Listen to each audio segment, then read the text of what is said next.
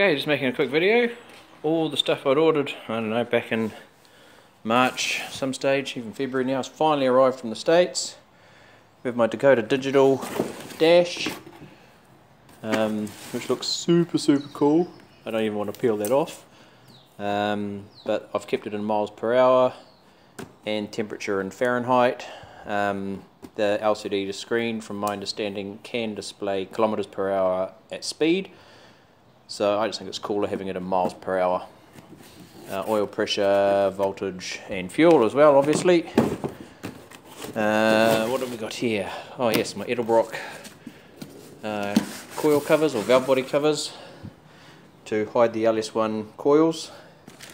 I actually thought they were plastic. I didn't realise they were cast aluminum, or aluminium, as we say it over here. Um, so yeah, can't wait to get those on when I pull the engine apart.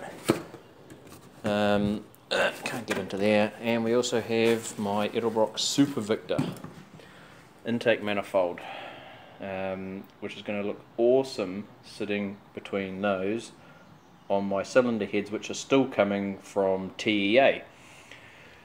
We have also got the Edelbrock fuel rails in there.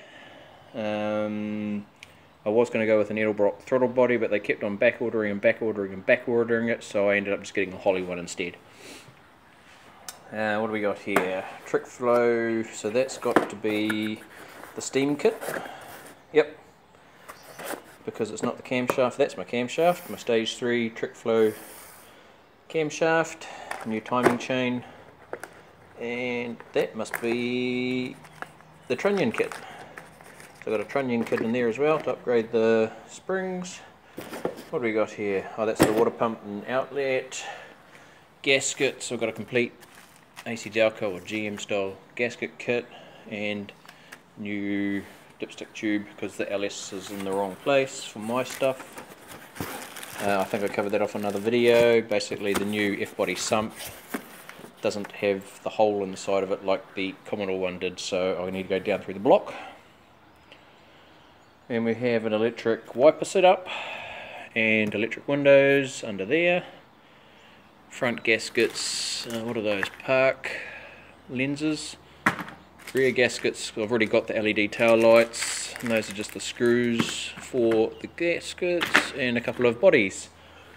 Um, so yeah other than buying some oh. oh shit just about forgot the biggest box. Vintage air. My aircon um, so I can't wait to start looking into that. Probably tomorrow, it's getting late in the afternoon now. Oh, and there's some QA1 shocks over there as well, which is from my brother-in-law. Uh, quick update in here. ECU's gone. Decided not going in there. Um, going to take up too much space once I put the aircon and wipers and God knows whatever else under there. So as you can see, I've tidied a lot of this up. 90% of the wiring's all actually running out through a bung now. Um, brackets for my aircon are done. I think I covered that off in the last video. Brackets for the radiator are still coming. And at the moment, yeah, ECU is just sitting on the dash, uh, on the bonnet hinge. So yeah, the wiring comes out from behind the engine.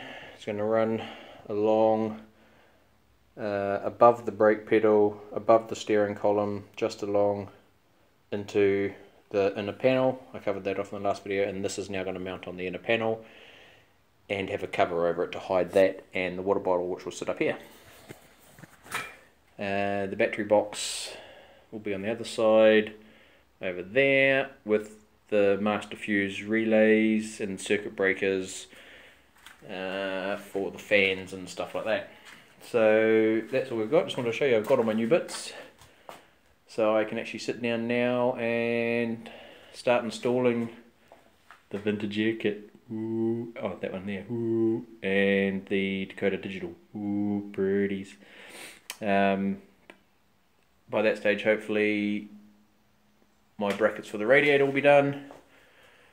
And then I'll be able to start the engine up, let it get up to temperature, make sure that all my gauges and stuff are working then the certifier will hopefully be here and I've hopefully can pull the engine trans and that out before he comes and start working on the engine. The cylinder heads should be here mid-May along with the headers and cylinder heads, headers, oh, and throttle body.